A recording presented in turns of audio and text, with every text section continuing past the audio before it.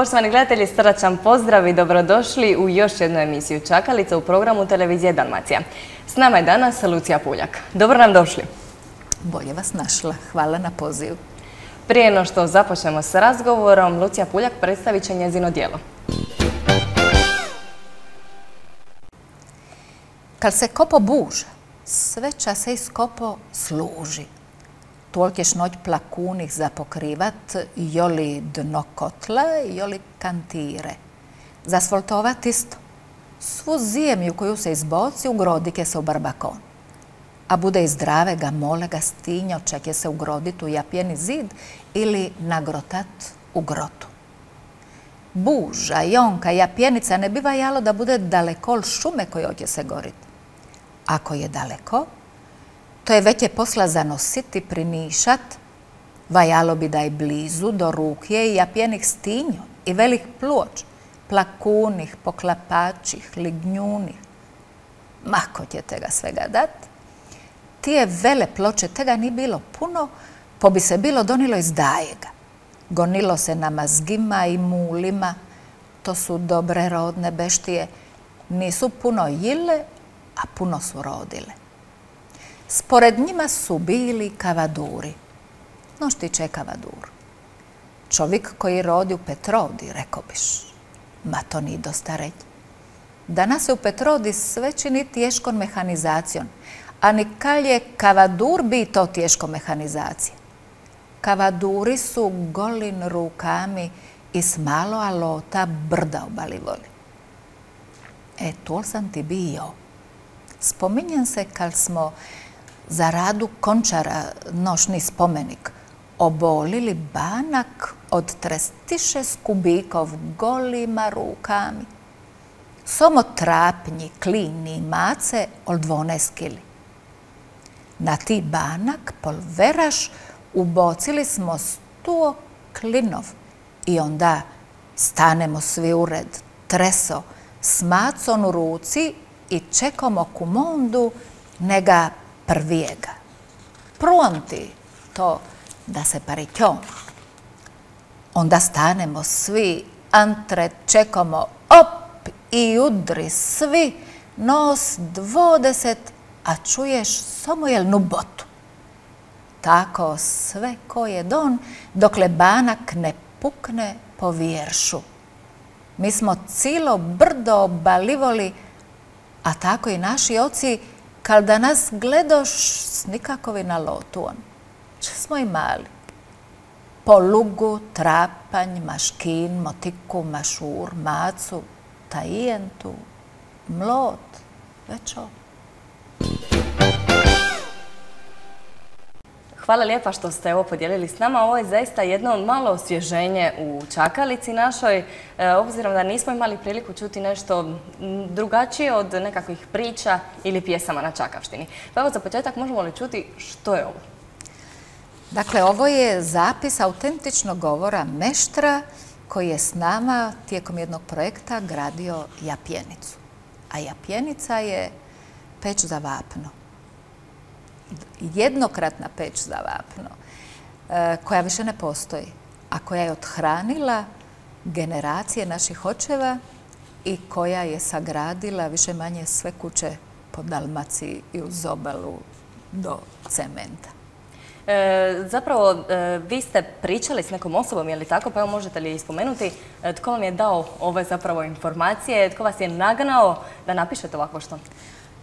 Dakle, postojala je ideja jednog kruga ljubitelja baštine da se rekonstruira, da se napravi jedna japjenica, zato što ni ja s mojom dobi nisam nikad tu japjenicu vidjela, ali sam o njoj puno toga čula i tražili smo majstora koji bi to mogao napraviti. I našli smo čovjeka koji je u to doba imao 85 godina, koji je zadnju japjenicu prije ove napravio prije 45 godina. Dakle, bila je velika priprema, najprije ova jezična, najprije on pričao kako se to mora napraviti, a onda smo zajedno iz dana u dan na tome radili i na kraju tu japjenicu i napravili. E, evo, još ću vas zamoliti sada da objasnite i vašu funkciju zapravo, koju ja evo na početku emisije nisam ni spomenula, obzirom da je po meni i tekako zamršena, odnosno e, ima je, jel? Imate jako puno zvanja, svaka, svaka čast pohvale, mislim.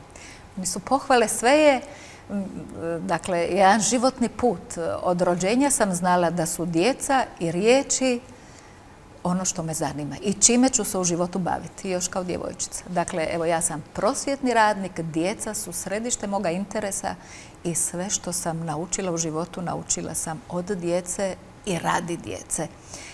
Dakle, ono čime sam djeci došla je jezik, jezik naš svakidašnji, svakodnevni, a jezik moj i jezik moje djece je čakavski jezik. Prema tome, to nas je povezalo i to nas je danas ovdje dovelo. E, čakavština je nešto što vas očito veže korijenima, no kako ste se uhvatili baš s tim i odlučili da je čakavština ono što želite prenijeti kroz cijeli život i obučavati druge čakavštini? Da bude moj stručni izazov. Dakle, ja sam izvorni čakavski govornik, kao što vidite i kao što čujete. Čakavica je prvi jezik koji sam ja od matere naučila i prvi jezik koji naša djeca u školi uče. S obzirom da sam se ja za djecu i školu zanimala na jedan drugčiji način, ne preko programa, ne preko onoga što nam se nalaže iz ministarstava od DOSGO, nego sam osluškivala kako to u životu funkcionira, kako se s djecom razumijemo, gdje nastaju porazumi i nesporazumi, kad se razumijemo, kad se ne razumijemo. Dakle, u svemu tome je onaj zavičajni jezik kao organski idiom pokazao svoju presudnu važnost. I ja sam počela istraživati i dječji jezik od prvog dana svog e, prosvjetnog staža i dječji jezik i organske govore. I moj čakavski organski govor i dječji jezik su povezane u svakom, povezani u svakom detalju. Dakle, studirala sam francuski komparativnu književnost, pa sam se zaposlila u preškolskom, pa sam završila pedagogu psihologiju, pa sam magistrirala metodiku književnosti, pa sam doktorirala psiholingvistiku. To izgleda sve jako različito, to je zapravo, to samo etape jednog te istog puta. E, taj jedno te isti put, e, što kažete, je čakavština. Koliko je teško istraživati čakavštinu zapravo? Uopće nije teško istraživati ako znate što istražujete. Evo možete nam malo pojasniti. ako znate što istražujete, možete istraživati primjerice kako se jedna riječ prelama u nečijem umu možete nekome reći, primjerice, na što tebe, što ti dođe u pamet ako čuješ riječ Katrida. I onda cijeli taj jedan asocijativni niz vam zapravo pokazuje značensko polje jedne riječi. Nakon toga vam pokazuje, s obzirom da je dakle, ista riječ, e, koristi se u sličnim životnim situacijama, da daje različite asocijativne nizove Iza toga takozvana konotativna značenja, nakon toga istražujete u čemu te razlike, kako je do njih došlo, a to je zapravo različito životno iskustvo. Morali ste zapravo imati nekakvu literaturu, morali ste na nečemu počivati, a Čakaština, svi znamo, e, je u velikom problemu i ona izumire. Upravo zato i postoji ova emisija Čakalica, koja se brine o tako nečemu, da ipak ostane tu negdje i da čujemo makar dijelići muha, jel? Da ne nestane. Dakle, naravno da nisam imala literaturu, nisam imala literaturu zato ni kad se radi o standardnom jeziku koji je puno bolje istražen, o kojem puno više literature ima, jer je to jedan drugči pristup. To je jedan pristup ispod svijesti, razumijete? I po meni sve počima na tome ispod svijesti. Čakavica nestaje, Naravno, okolnosti su se promijenile, e, novi uvjeti života, komunikacija, interferencija sa razno raznim jezicima. Ali ovo što se danas događa i svi ti mogući komunikacijski oblici zapravo ne čini dobro ni jednom jeziku. Pa ću vam to... Evo, možete li nam to pojasniti? Ne samo čakavici. Vi znate, svaki jezik počiva na stvarnosti. Vi živite u jednom okruženju i tražite riječi kojima biste izrazili tu stvarnost. Apsolutno. Čakavica koju mi danas poznajemo je zapravo živjela u jednom prošlom vremenu. Mi danas više nemamo puno sadržaja koje, životnih, jeli, u svakodnevnom životu, koji su se tim jezikom iskazivali. Vi znate, sve što se nalazi u jednoj konobi je više manje leksik u mom kraju, čakavski leksik. Ali koliko djece, koliko konobi ima i koliko djece ulazi u takve konobe. Dakle, oni nemaju prigodu... Mislite da je to najveći problem čakavštine? To nije najveći jezik, to je, Ali jedan, od... jedan od velikih problema. Dakle, postoji određeni čakavski jezik, postoji leksik, ali ne postoji više stvarnost na koju se taj leksik odnosi. Mhm. Gdje ćete ga upotrebljavati? Što god danas djeci kaže, bilo koju riječ kažete kogma, a šta je kogma? Evo čak ni ja ne znam. Pa na kogma, to je džezva za kavu, ili ovdje se prenijelo džezva. To je, zapravo djeca više ne vide da se u tome kuha kafe ili se kuha u aparatima ili to vam je onako nešto najbanalnije. Drugo su e, interferencije ili presjecanje sa drugim jezičnim kodovima. Vi slušate e, svakodnevno na televiziji što mi nismo u mladosti drugčine i ako ne govorite tim jezikom, jel? E, i to nama drugi jezik, nama je naš jezični hrvatski standard zapravo drugi jezik prirodno. Sad više nije, to je bilingvalni smo odmah od početka. Ne. Dobro, kad vam fali riječ čakavska, posegnete za to standardnom i tako se interferencije događaju. Danas čak ni to, danas posežemo za riječju koja je, ne znam, internacionalnog podrijetla, engleskom ili, ili pitaj Boga kakvom. Danas živimo u jednoj mišanci jazikov, kako bi rekao naš pjesnik Štefe Polišelić. S jedne strane možemo to gledati na jedan pozitivan način e, i engleski jezik zapravo postaje univerzalan da cijeli svijet i svi se možemo razumjeti da to ne bi bilo nekakvim mimikama. S druge strane, i takakvu smetnju očito stvara hrvatskom jeziku, a kamoli onda čakavštini. I, engleskom. I hrvatskom, i engleskom, i čakavštini. Znate zašto? Kad e, vi želite nešto iskazati, i nekada ili u čakavici i nedostajala vam je riječ da to iskažete ili jezična konstrukcija ili izraz, onda ste vi u zalihi svoga znanja, u zalihi svog jezičnog osjećaja tražili, konstruirali, stvarali, bili ste kreativni. E danas to više ne radite, nego posežete za prvom riječi iz bilo kog jezičnog koda koji vam je na raspolaganju. Dakle, više nema stvaralaštva niti u tom čakavskom, a nema ni u književnom. Ista je stvar u književnom ili, ili standardnom. Kad želite nešto izraziti, pa umjesto da tražite, da stvarate konstrukcije, posegnete... Evo pravi primjer, ja bih možda rekla e, da su sad e, lockdown preveli na hrvatski jezik, pa ne sjećam se sada točno Zaključavanje ili pitanje, uopće ne znam kako su ga preveli. Eto, to, to je ono što nam želite reći. To ste baš ovaj, preljepo rekli. Mi više nemamo nikakvog jezičnog poticaja za stvaralaštvo. Evo, meni osobno sada to na neki način postaje smiješno zaključavanje. Ali to je u prijevodu upravo to što, što i znači, jel? A gledajte, ove, tako jezik i rasti, tako se jezik i stvara i tako postajemo bilingvalni. Znači, riječ koju ste čuli prvu je prva riječ za tu oznaku, a prvo ste čuli lockdown, dakle vama je sad prirodno da to bude lockdown.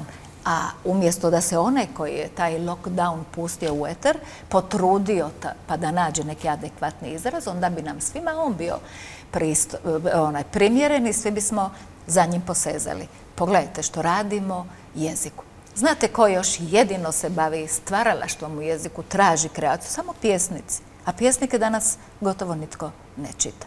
Ne piše se dobro jezicima uopće. E, evo sad kad ste spomenuli već pjesnike, hajdemo se dotaknuti njih. Evo često ovdje sjede pjesnici na ovom vašem mjestu e, i predstavljaju svoje pjesme, svoja dijela, pa su tu različite i priča na Čakavštini. E, I oni trebaju riječnik. Koriste riječnik, traže riječi, čuli smo to puno puta, evo e, osobe koje prate jeli, našu e, čakalicu, znaju da je to jedno od mojih glavnih pitanja. To je na koji način dođete do, pjesme.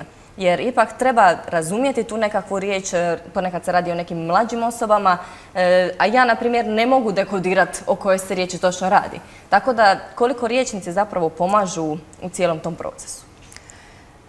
Ja sam bila suradnica akademika Petra Šimunovića pri stvaranju riječnika bračkih čakavskih govora. I taj smo riječnik radili dugo, dugo, to je jedno prelijepo životno iskustvo. Ali ovi koji pišu čakavicu, njima neće pomoći taj riječnik. Taj riječnik dobar da onome ko zna riječ, da otkrije riječ. Svi su se već javljali, moja djeca u školi, znate, s potrebom da im ono što znaju reći na književnom netko pokaže u čakavskom riječniku. Znači, mi moramo ovaj riječnik koji je čakavsko standardni preokrenuti. To bi možda bilo to bi možda bilo zgodno, onda bi to bilo korisnije. Ovako se ne mogu s tim riječnikom poslužiti. Mogu samo ako čuju riječ ili mogu, ne znam, čitati pa učiti riječi. Znate, ja znam ljudi koji se zabavlju time da čitaju riječnik kao književno dijelo. I ovi se riječnici stvarno mogu čitati kao književno dijelo. Uglavnom je dobro da ih imam.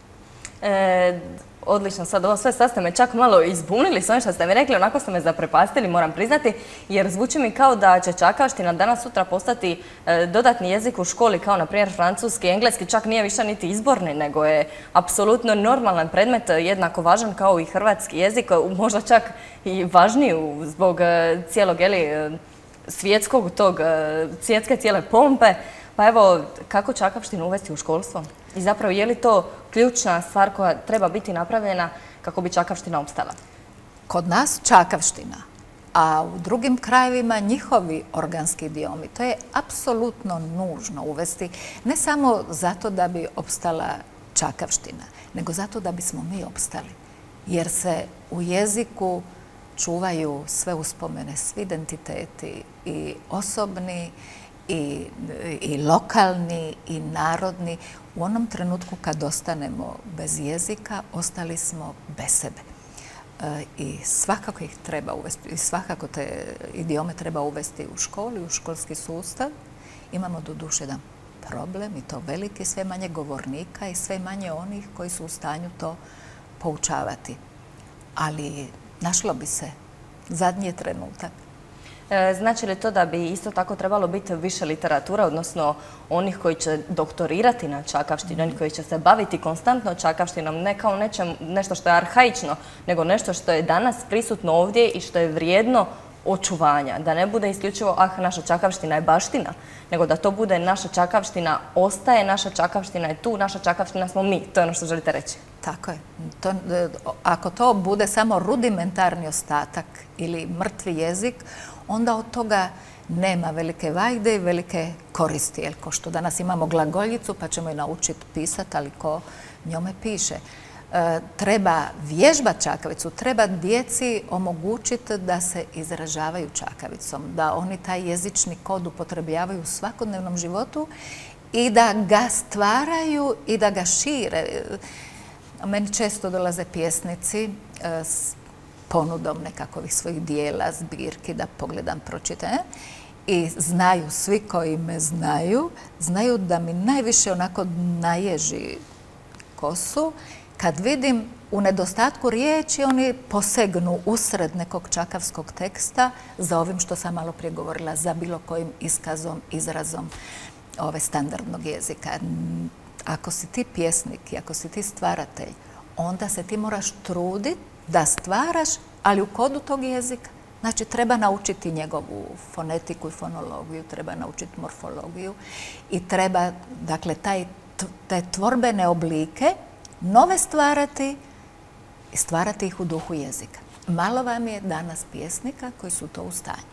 Dosta još ovako onih koji će posegnuti za onim što postoji, ali stvoriti novo u duhu jezika da se ne kosi sa fonologijom, ne, fonologijom, morfologijom ovog, uh ovoga idioma, ih je jako malo. I kad takve otkrijem, a ima tih mladih pjesnikinja, ima jedna Katarina Makijanić na Hvaru koja, koja to virtualno uspjeva, koja živi taj jezik, dakle koja ga ne bilježi kao uspomenu, nego živi s njime. Postoji moja jedna cura na Braču, jedna Ivona Džimbek, koja također ima jako dara, zato evo to ja tražim. od Evo, vrlo rado bih e, Evo, i u budućnosti voljela vidjeti ovdje na ovom vašem mjestu. Svakako ćemo o tome popričati. E, no, ono što me zanima je kako to da sad taj pjesnik i kad se prione posla, čak i možda neki koji nema to u sebi, nije nekako fetiv i ništa, ali trudi se.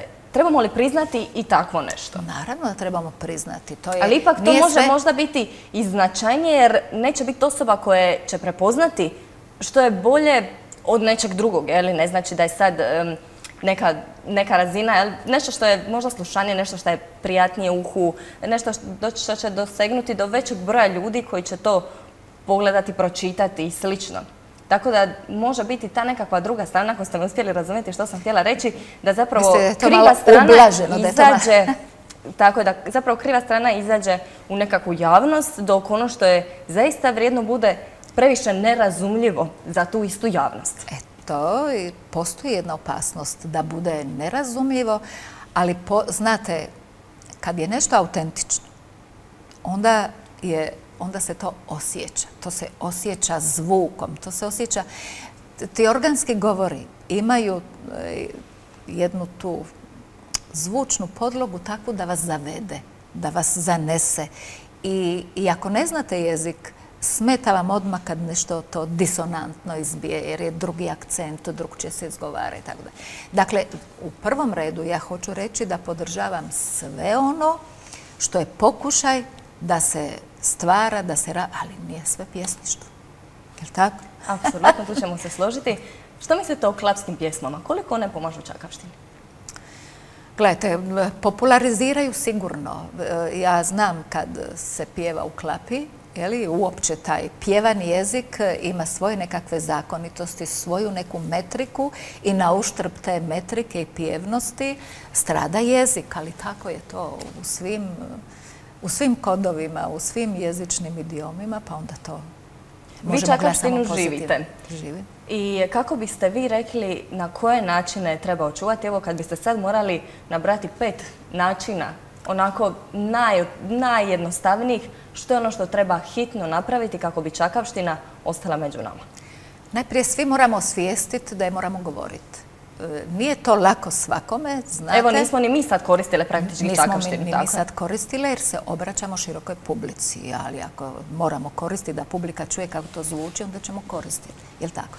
Znači, ne možete u svakoj situaciji. Morate znati koja je e, situacija prikladna za koji kod, a što znači da morate virtualno vladati jezikom. Svaku situaciju koristiti, djeci se obraćati čakavici, na, na čakavici dopustiti im da nas slušaju i dopustiti im da se izražavaju čakavicom. Ja ću vam reći koliko se to razlikuje od doba moga djetinstva. Kad sam ja išla u školu, onda je to bilo zabranjeno. Jedan od prvih nastavnih zadataka bio je izbjegavati lokalizme i lokalni govor. A ja sam u svom doktoratu objasnila kako taj lokalni govor zapravo pomaže učiti i standardni govor. Jer i jednim jezikom moraš ovladati do kraja da bi onda mogao neki drugi učiti i njime vladati. Dakle, jezik služi za oblikovanje misli. Jel tako? I koji su tako, stupnjevi oblikovanja misli. Najprije, kao se misao pretvora u jezik, najprije imate jednu nejasnu sliku onoga što želite reći. Ja? A onda tražite jezična sredstva kojima ćete to oblikovati, kojima ćete misao oblikovati. E sad, djeca kad uče jezik, ona su najprije opterećena onim što žele reći. I ako odmah u startu moraju misliti je li ovo jezično sredstvo dobro, je li ovo moj zavičajni ili ovo je jezik koji se traži, onda će prekinuti misao. Nema više ni misli, ni jezika. Znači, dijete mora spontano se izražavati jezikom materinskim. Ne zove se to za ništa jezik materinski. Kako biste opisali Čakavštinu u dvije, tri riječi? Evo moje posljednje pitanje. Kako biste saželi to u jednu rečenicu? Čakavica je zvuk mora, fijuk bure i odzvanjanje stijene. To je čakavica i to joj moramo ostaviti da bude i dalje. Hvala vam lijepa na ovom razgovoru. Evo, naježila sam se čak na ovaj posljednji citat. E, želim opet da budete naš dragi gost. Hvala. Poštovani gledatelji, sada vas prepuštam anketi u kojoj smo provjerili koliko se spličani sjećaju splitskih riči. Bovan.